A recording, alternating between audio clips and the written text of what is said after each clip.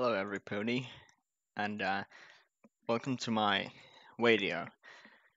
I'm watching the Canterlot Wedding Part 2 again for who knows how many times, and um, I just noticed something that I haven't really thought of earlier at uh, the other times I've watched it. When Pinkie Pie asks the changeling to do uh, to ch- turn into her. She says that she's seen uh, better better ones than than that changeling. And uh,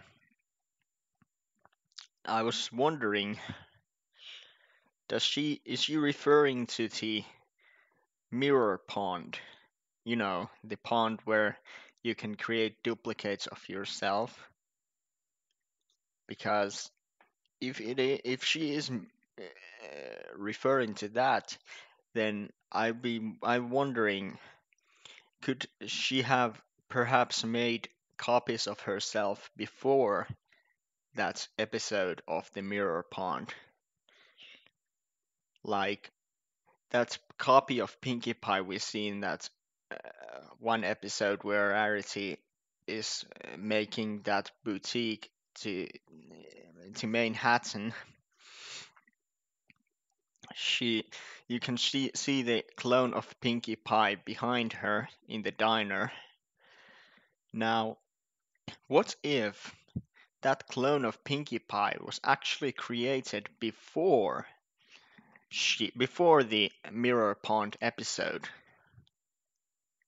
It could be that there are even more Pinkie Pie clones because there wasn't Twilight. Twilight wasn't there doing the banishing spell for them, so there could be who knows how many Pinkie Pies left in Equestria. Maybe even beyond Equestria.